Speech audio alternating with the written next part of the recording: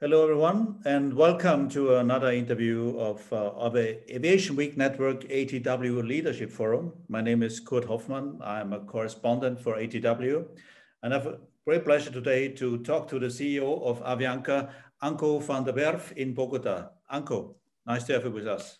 Good morning for me. Good afternoon for you. Thank, Thank you. you. Thanks for your time. yeah. Thanks for your time. I know you're very busy in, in, in times like this, especially. Avianca, one of the oldest airlines in the world, the second oldest, 100 years old, transporting around 13 million passengers a year.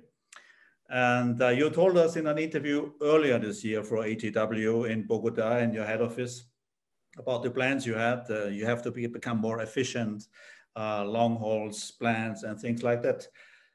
But however, Corona came up. It didn't stop for uh, even to South America, Chapter 11, state support is necessary. All this crisis, how much throws Avianca back? How many years? What's the state yeah. Let me let me first say that indeed, I mean the timing of our interview back then, right, end of January, um, pretty much a month before all of this unfolded, was uh, yeah, in, in retrospect, uh, an interesting timing, right? I mean, uh, we we had we had a very good evening, uh, right, that night with with the 100 years festivities through um, a big party in, in Colombia and afterwards in all the Central American countries and everywhere else. Um, yeah, great. But uh, but little did we know at that time, right? Uh, a month later, everything would come to a standstill. Um, yeah, how much does it throw us back? I mean, in, in a way, um, one of the, I think, more positive things for us is that already we went through a restructuring last year. So we had our plans. Remember, we also spoke back then about the Avianca 2021 plans. Um, well, here we are, almost 2021. Clearly, um, we need more work now, but but I think much of what we were planning on doing um, still stands, right? And I think the direction is is still very much the same, in the sense that we still want to lower our costs. You still want to have your costs more flexible, right? With with the fixed costs traditionally in our industry, of course, that that can easily um, well, um, have, a, have a big impact, right, uh, for every single airline. It's become abundantly clear this year. So I think much of what we were planning on doing, we will still do. Um, and yes, um, some things have been delayed. We were on track to densify our fleet already this year. That was a massive capex expansion of, or, or expenditure for this year. So we we moved that, but I mean that will still happen, right? I mean fundamentally things will still happen. Um, I think our network review, some of that was already in place. Some of that actually now, because of COVID, will probably go faster in 2021 now, right? Again, postponed. But, uh, but many of the plans that we had in the original Avianca 2021 plan, becoming more agile, becoming more nimble, more efficient, more digitalization, more technology, densification, all of that still stands. So some things speeded up maybe a little bit, but you was not flying five and a half months. Is this correct? Yeah. So so um, I don't recall the dates precisely anymore, but probably 12th of March or something. Our first hub shut down, and then one by one over the next few days until the 22nd or 25th of March, every single of our hubs shut down, um, and then for three months we were not flying at all, um, right, apart from humanitarian flights. And then we started back up in, in Ecuador. In Colombia, domestic, um, five and a half months that we've been on the ground. And then also Central America. Uh, and some of those markets for international was even six and a half months, right? So, um, yeah, six months of cargo flights, six months of humanitarian flights, some domestic in Ecuador, but that was really sometimes only four, five, six flights a day.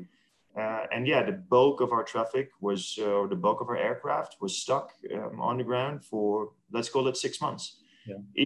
Now, right, I mean, early November, we're only flying about 15, 20% of our capacity at this moment. Unbelievable. Is it mostly domestic? Uh, some some markets uh, recover a bit quicker in domestic markets. And I know in, in Colombia, there's quite intense domestic route. And you, yeah. it's domestic number one and then a little bit of the regional flights? Yeah, that's exactly right. Exactly right. I think I think uh, no surprise and not different from any airline in the world. Probably. I mean, if you have a domestic market, domestic recovers more quickly than international, and I think also um, yeah, VFR and leisure basically um, right recover more quickly than business. Right. That's definitely what we're seeing. Now, the, the Central American markets, the smaller markets, let's say, they don't really have a lot of domestic markets, so everything is pretty much international. But you still have uh, quicker recovery intra Central America, for instance, and of course the stronger routes to the United States, right? I mean um, that that still works. That's a lot of VFR. That's a lot of, of, of leisure traffic. Um, yeah, that rebounds. But again, I mean, 20% at Avianca Holdings level, right? At the most, 15, 15% um, throughout October. And now we got some additional slots and everything. So let's say that we're going to go to 20%. That is still very limited. No? Absolutely. And do you think uh, you can increase the capacity or is it uncertain to see because we don't know where is lockdown or where the travel restrictions, uh, which kind of uh, vaccine maybe will be available? There are so many, so many question marks actually. Yeah, yeah, no, absolutely true. Um, look, we had we had something more aggressive in our in our plans for November. Um, already going more international, more wide bodies again to Europe. Uh, we flew six daily flights into Spain, five basically to Madrid and one to Barcelona before uh, before COVID.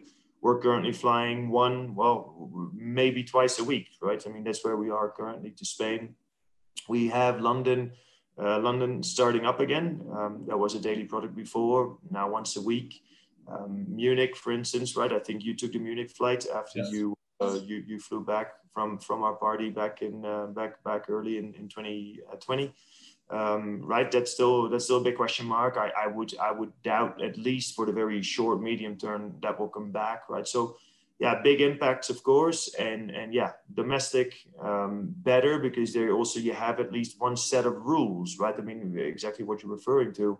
The difference between all the country rules, PCR tests, negative PCR tests, quarantine rules, what have you, um, of course, didn't make things easy at all for anyone over the past few months. Now, at least in Colombia, this week, uh, good news, um, they have dropped the negative PCR requirements, so that's that's good news. Um, and do this have an, already an impact on load factors when, when something like this will be cutting away? You see an Yeah.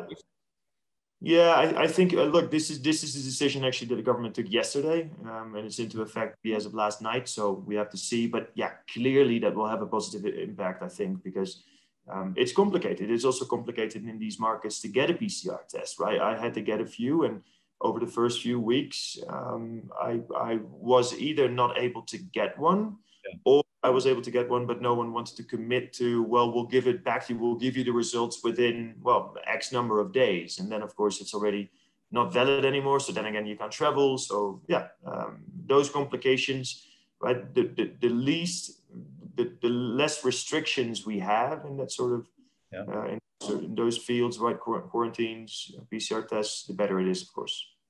There's LATAM is the largest group of airlines, I think, in, in Latin America. Then is Avianca, and number three is Aeromexico and Copa, when I remember well. What yep, do you think? Those Were, yep. One day this crisis will be hopefully disappear or it will change the industry most likely. How, how can you, what do you expect? How will the airline scenery will look in Latin America? Yeah, I actually think that there's a good future still for Avianca, but but certainly for aviation as a whole. Um, look, there's there's one thing, and I think we touched upon it also when we spoke last. Many of these markets, the road infrastructure, right, the highways and stuff. There's no train, there's no highways, or at least limited. Um, there's a lot of mountains, so geography really plays into the hand of aviation. Um, if you look at the two biggest cities in Colombia, Bogota and Medellin, uh, Bogota, 10 million people, right? Connecting that with multi-million people cities around it. Um, Bogota, Medellin by car it takes about eight hours, right? Um, 35 minutes by air. So, yeah, for, for the economies and for the economic rebound also that, that we're going to see over the next uh, months and years for sure, um, aviation is absolutely critical. Um, so I'm, I'm pretty positive actually there still for the, for the, for the medium long term. We have to get through the short term, and that's at least where we've been working hard and, and um, right we I think have set ourselves up for, for future success there as well. We got the DIP approved, we got the DIP funded, we have um, right more cash again in, uh, in in the bank. So I think that's good. Medium long term, I'm still I'm still bullish. Let's say on on Central South American traffic. And what you have is also Chapter 11. I think also LATAM is in Chapter 11. This is an instrument we, for example, we don't have in Europe. So, yeah. uh, and you used it quite early, I think. So that was essentially, and, and I can imagine an airline like you or your colleagues are happy to have this instrument.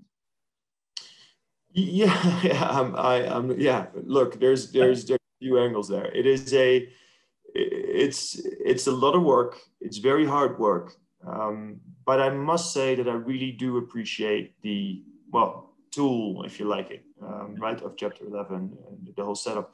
Um, and for those for, for those that are not really familiar with it, I've come to appreciate it as a very it's a, it's it's very geared towards you as an enterprise continuing right going concern that, that you that you that you that you that you that you survive in a way that you emerge from chapter 11 right um, it's managed by nothing but professionals right if you look at the united states the courts that they have specifically for this um, the judges the trustees um, uccs everything is really geared towards uh, professionalism uh, uh, around you. It's, it's, it's really tight. It's a really well-known procedure, of course, in, in the United States as well. Um, so yeah, I, I, I, do appreciate it, although it comes with, of course, additional pressures and time pressures, but, but it, it flows. I think once, once you're in there, it does flow. Um, and yeah, we, we were making use of it to the best, uh, to the best extent, of course. Um, and, and I think so are, are so some of the airlines in the region, LATAM, Aeromexico um, joined within, I don't know, weeks and, and, and I think Aeromexico a month or something after we did. Um, so yeah, those three are now in, uh, are now in chapter 11 and uh, working hard to make sure that we take the steps that are necessary to emerge next year. Uh, can you tell us uh, or give us a bit of an update about your partnership with United Airlines and Kingsland? How, how is this working in a crisis like this? is it very helpful or is it more or less quiet? yeah so, so i think I, I think to be fair uh, to the ones from united we have i mean above and beyond we have a very good relationship right uh, both with uh, with scott kirby um, and, and, and john Gibo, um, great personal relationships but also with our broader team um, commercially speaking of course when you're on the ground for six months there's really not much you can do right? I mean it wasn't it wasn't much of a commercial year 2020 right? So that is something that we will pick back up in 2021. But on other elements, definitely um, the stakeholders, both United and Kingsland, absolutely crucial in making sure that we got our DIP um, and making sure that they are strong, strong partners for us to make sure that we got right the DIP, our financing um, uh, funded uh, about a month ago, uh, 5th of October, 6th of October, roughly and um, that we got it approved by the judge at least. So, so yeah, um, very strong. Doesn't change anything. In fact, that relationship probably, in that sense, with with certainly Kingsland and United has only become stronger.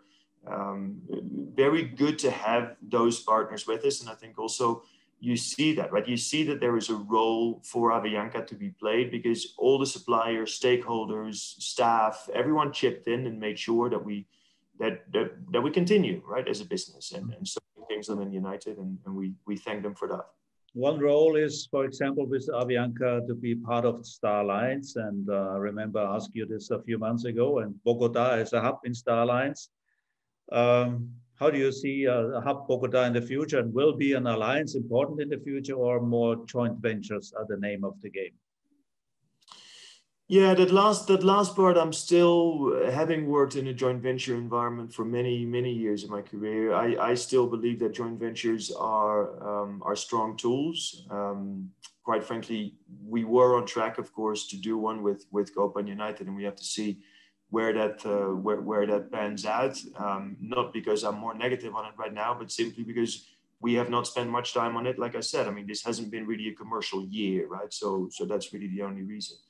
Um, I think the hub of Bogota will still exist. Um, it's, it's uh, 10 million people in a catchment area, strong economic center, again, with a geography that's somewhat against road networks and rail networks. I think, therefore, that you can make that hub work. Um, and we have seen that historically speaking. Now, will be at least for the for the time being, it will be smaller, right? We all have fewer operations, at least for the next few months still. Um, but again, medium long term, I don't see any reason to doubt that. Again, 10 million people, catchment area strong, economy strong, um, one of the bigger domestic markets also in South America, Latin America. Um, I, I, think that will still that will still be very successful. Is it a time to think about future aircraft, or is it uh, no time at the moment because you need all the money to survive? Actually, the company because the A321neo LR for your long, thin roads in America from Bogota to New York or what else is a nice aircraft. But is it time to think about aircrafts like that? No, no, not really. I think I think of course we're always in touch with with both uh, Boeing and Airbus around new new stuff and in, in yeah. middle of the market or whatever you want to call it, right? I, I call it the 797. But anyway, I mean there's there's on the Boeing side and of course XLRs on on the Airbus side. Um, yeah, we, we know we know where we think these aircraft end up and what they could potentially do for us. But let's be honest, at this moment, um, yeah, we're not in the market for new aircraft. Uh, no, let's be, let's be very clear there. Is the worst over for Avianca? I'm actually I'm actually a bit torn. It's it's I, I am not. Um, look, short term, no, um, no. I think for every single airline at this moment, it's it's it's dire. The winter season will be what it will be. If I look at Europe, everyone's scaling back again. I think that's different probably for Latin America because we had, as we have discussed, right, six months on the ground. So we're finally getting back on track. I think Europe had a better summer than we had, but it's now winter season. Everyone's scaling scaling down. Yeah, we're, we're still we're still growing, um, but from a very very low base um, I think afterwards we we will really make sure that we set ourselves up for success. So so for the medium long term, yeah, again, I do think that there is a significant role for Avianca to be played for sure as a company over the next whatever, right, one two years, whatever you want to call it, right, as long as COVID lasts and as long as there's no vaccine. Yeah, we will be smaller. We won't dump capacity back just like that, right? We will be prudent but but again, medium long term, I think a lot of ingredients are there for these markets to still be successful. And for Avianca, with its product, with its service, with with the company that we are, with the number of aircraft and our capacity shares, I think we will be successful. 100 years of Avianca, and there should much more years come. I hope so. With a much more efficient, much more flexible Avianca yeah. Exactly. Yeah yeah one of our taglines has been actually this year that we we want to go for another 100 years right? For for yeah. 100 years more no? Cien años más.